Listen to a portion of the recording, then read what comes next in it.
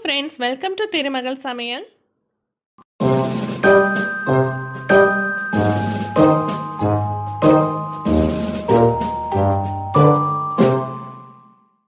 நம்ம இன்னைக்கு நம்ம வீடியோக்குள்ளே போகிறதுக்கு முன்னாடி இன்னைக்கு பார்க்க வேண்டிய திருக்குறள் பார்த்துடலாம். பெருமவற்றுள் யாம் அறிவது இல்லை அறிவறிந்த மக்கட்பேறு அல்ல பிற. இதோட மீனிங் என்ன அப்படின்னு? அறிவு நிறைந்த நல்ல பிள்ளைகளை பெறுவதே பெரிய சொத்தாகும்.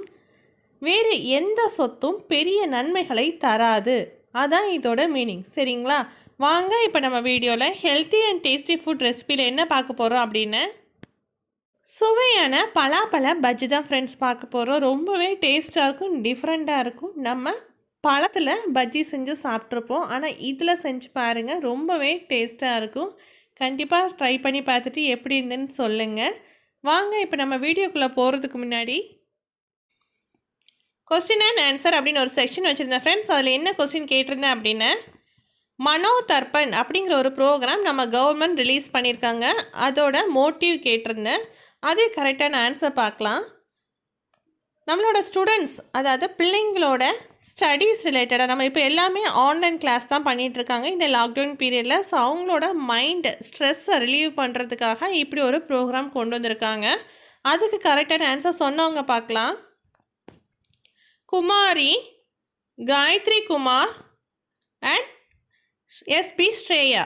Thank you so much friends என் கொஸ்டினுக்கு ஆன்சர் பண்ணதுக்காக இன்றைக்கும் எங்கே கொஸ்டின் வருதுன்னு பார்த்து ஆன்சர் பண்ணுங்கள் வீடியோ பார்க்குற மற்றவங்களும் ஆன்சர் பண்ண ட்ரை பண்ணுங்கள் ஓகேங்களா? வாங்க இப்போ நம்ம வீடியோக்குள்ளே போகிறதுக்கு முன்னாடி நம்ம சேனலை சப்ஸ்கிரைப் பண்ணிக்கோங்க. பக்கத்தில் உள்ள பெல் பட்டன் கிளிக் பண்ணிக்கோங்க. லைக் பண்ணுங்கள் கமெண்ட் பண்ணுங்கள் அண்ட் ஷேர் பண்ணுங்கள் வாங்க இப்போ நம்ம வீடியோக்குள்ளே போகலாம் பலாப்பழ பஜ்ஜி செய்ய தேவையான பொருட்கள் பார்க்கலாம். நான் இன்னைக்கு ஒரு இருபது பலாப்பழச்சோளம் எடுத்து வச்சிருக்கேன்.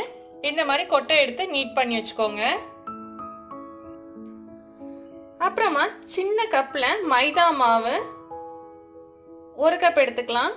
ரெண்டு டேபிள் ஸ்பூன் பச்சரிசி மாவு ரெண்டு டேபிள் ஸ்பூன் சீனி. இதில் பார்த்தீங்கன்னா ஒரு சட்டிக்கை சோடா உப்பு எடுத்திருக்கேன். அப்புறமா ஒரு சட்டிக்கை உப்பும் சாதா உப்பு எடுத்துக்கோங்க. கொஞ்சம் இனிப்பு கூட்டி காமிக்கும். மஞ்சள் தூள் ஒரு சிட்டிகை எடுத்துக்கலாம் கலருக்காங்க அப்புறமா மூணு ஏலக்காய்.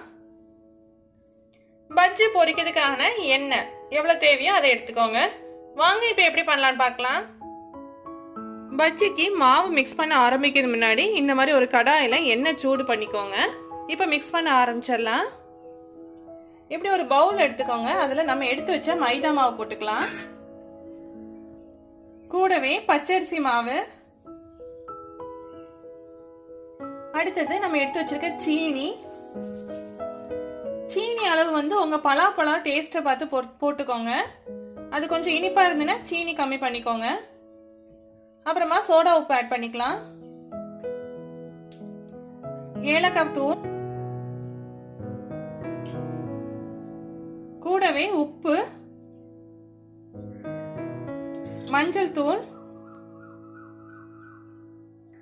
இவ்வளோத்தையும் போட்டு கொஞ்சமா மிக்ஸ் பண்ணி விட்டுக்கோங்க ஃபஸ்ட்டு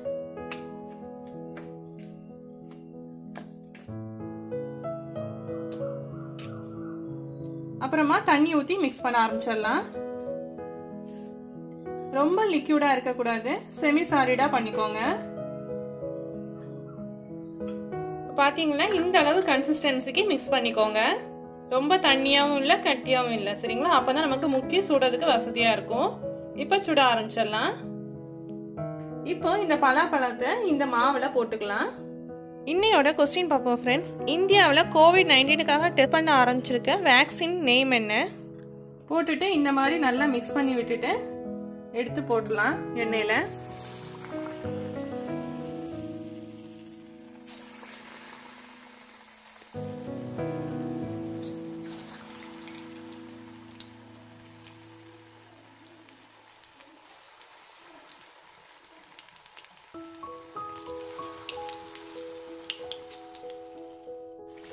இப்போ இதை லைட்டாக திருப்பி விட்டுக்கோங்க.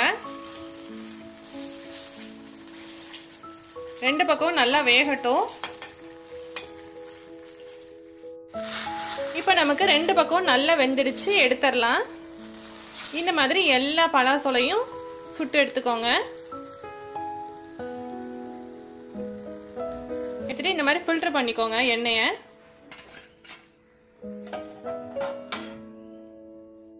ஃப்ரெண்ட்ஸ் இந்த பலாப்பழ பஜ்ஜி நீங்களும் ட்ரை பண்ணி பார்த்துட்டு எப்படி இருந்துன்னு சொல்லுங்க. ரொம்பவே சூப்பராக டேஸ்டாக இருக்கும்.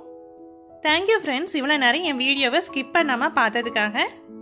இந்த லிங்கை கிளிக் பண்ணி நீங்கள் டேரெக்டாக சப்ஸ்கிரைப் பண்ணிக்கலாம். சப்ஸ்கிரைப் பண்ணி இந்த பெல் ஐக்கான் கிளிக் பண்ணிங்கன்னா இந்த மாதிரி ஆப்ஷன் வரும். இதில் ஆல் கிளிக் பண்ணிங்கன்னா என்னோட அடுத்த வீடியோ நோட்டிஃபிகேஷன் உங்களுக்கு வரும். லைக் ஷேர் பண்ணுறதுக்கு இந்த மாதிரி ஒரு தம்ஸ் சிம்பிள் இருக்கும். அதையும் கிளிக் பண்ணிக்கோங்க. இந்த ரெண்டு வீடியோ உங்களுக்கு கண்டிப்பாக யூஸ்ஃபுல்லாக இருக்கும். போய் பாருங்கள் அடுத்த வீடியோவில் பார்க்கலாம். Thank you friends